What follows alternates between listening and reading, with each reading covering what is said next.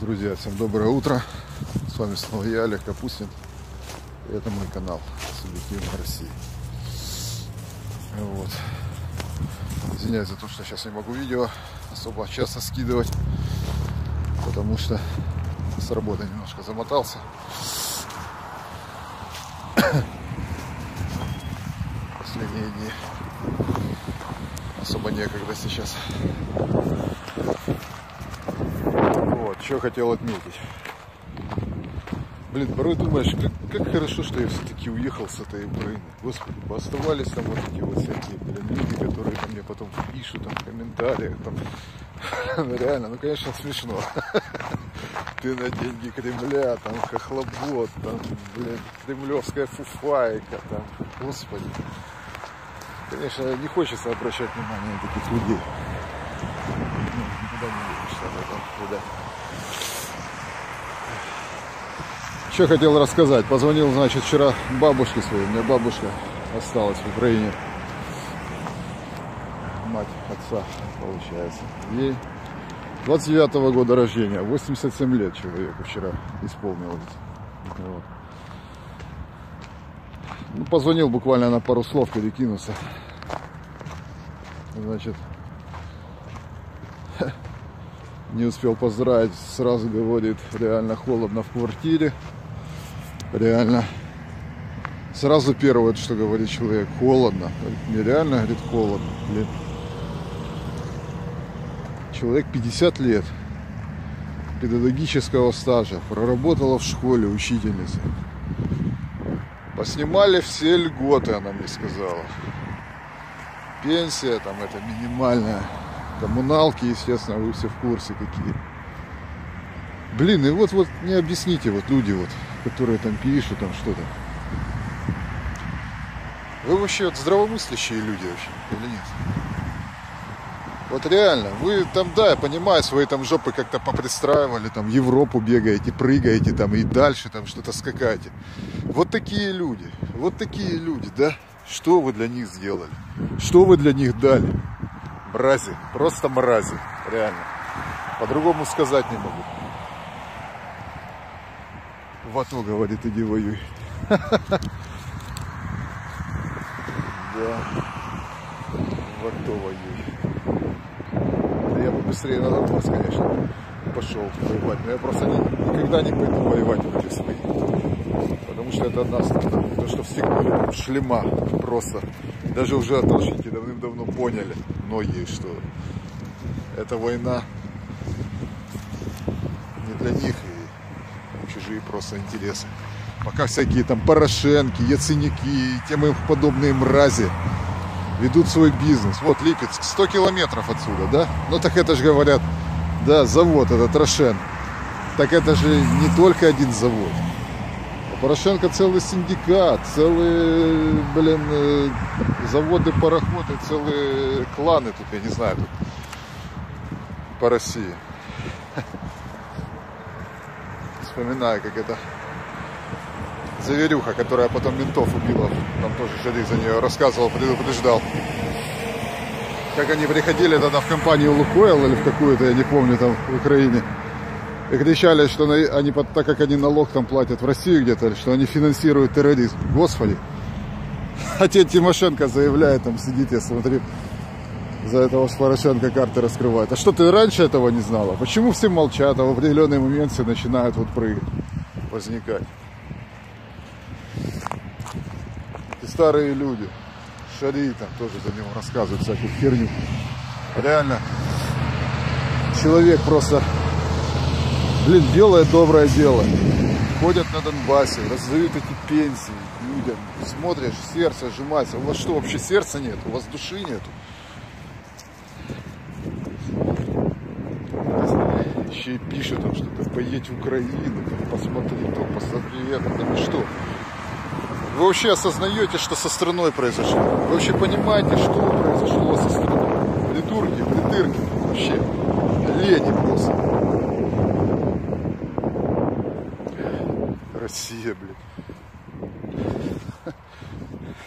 Да, действительно, люди правильно пишут. Да я сам об этом всегда думал, что Украина всегда жила только тогда, когда я реально как-то поддерживала связь с Россией, когда была частью России, когда они ну, вместе были всегда. Это всегда был один единый народ. То, что там привязали насильственно эту всю западную Украину, там, я не знаю, там ее приклеили, пришили, да ну их вас нахер вообще. Какая от вас польза, какой от вас стол, что вы можете?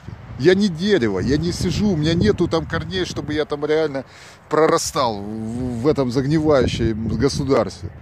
Я вам, придуркам, вот с Украины особенно, показываю, вот, что здесь жизнь нормальная, что здесь нормальные люди. Я имею на это право. Что люди тут совсем по-другому живут. Что вам там рассказывают? Посмотрите эту гражданскую оборону, ICTV и так далее. Вы что? Вы это не на одни уши не натянут. Вы на себя посмотрите, елы-палы. Что вы смотрите на Россию? России здесь все хорошо. Даже люди тут и то жалуются, говорят, мол, типа,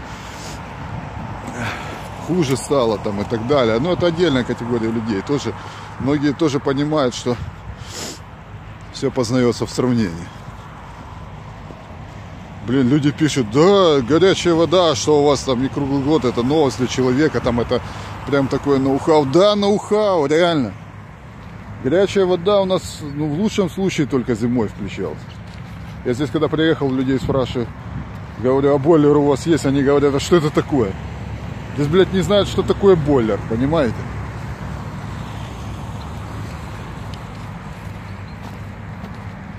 Здесь пенсионеры нормально, им тут платят всякие компенсации, льготы.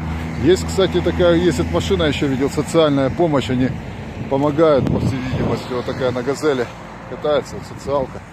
Приезжает к людям старым, там, я так понимаю, что обеспечивают там, их там, продуктами и так далее. В Украине тоже все это есть.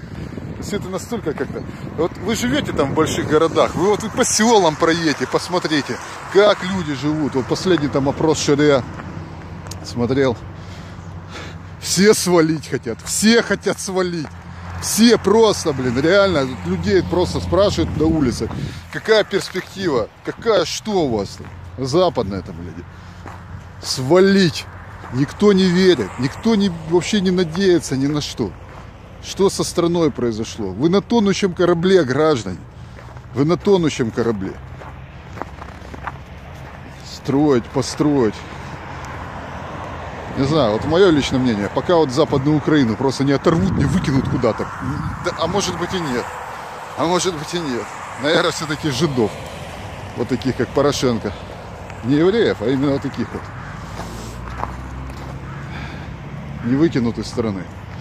Не знаю, не будет там порядка никакого. Вся вот беда, вот на чем спекулируют там политики, вот именно на этом то, что ой, рідна мова, патриотизм, блин, и так далее. Господи, да разве это стране важно? Разве это, ты там говорит, разовали рідна мова, я разовали. Ходит корреспондент по Киеву, с ним общаться. Мова оккупантов. Блин, как вспомню эту Фарион. У меня знакомый, ну, заказчик был в Украине там. Значит, дедушка старенький. Я вот уже накануне отъезда, когда уезжал, разговорились мы за яйценика.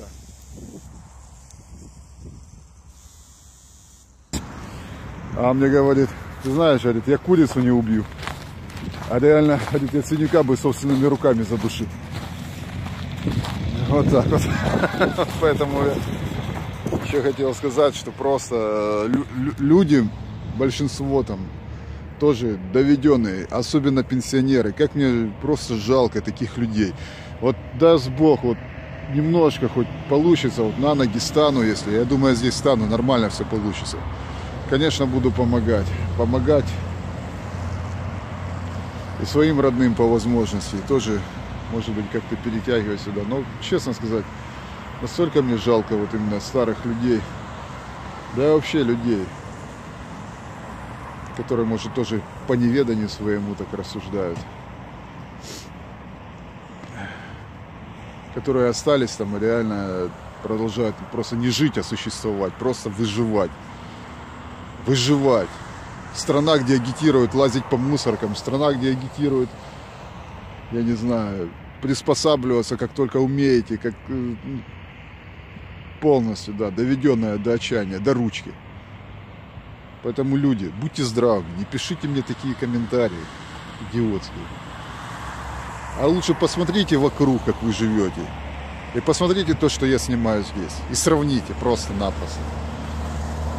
Все, всем удачи. Хорошего настроения, немножко злое сегодня. Ставьте лайки, подписывайтесь, подписывайтесь на канал, если интересно. Всем удачи.